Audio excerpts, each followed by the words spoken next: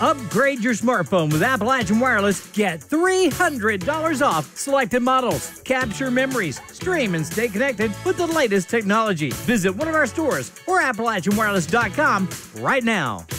Recently, the Pikeville City Commission amended a current ordinance that should help clarify open carry laws in the city. Weapons may be allowed in someone's personal vehicle, but not on school grounds during a school related function. Mountaintop News spoke with Pikeville City Attorney Rusty Davis to learn more. Basically, what we have done is uh, amended our policy to better explain what laws are out there, what what ones we allow. For example, we clearly provide that uh, people can have weapons in their their vehicle in a parking lot.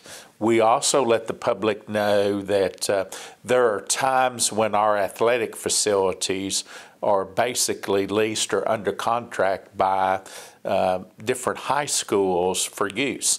So we just trying to let people know when they can or cannot have firearms. There are not any city regulations.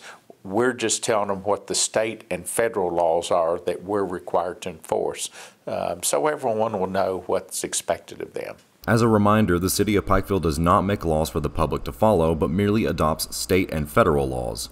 For those interested in becoming more familiar with city ordinances, the statute numbers are made publicly available online. In the ordinance, we even put the statute number. So if you want to further go and read, look up on the internet the state or federal statutes, you could do that.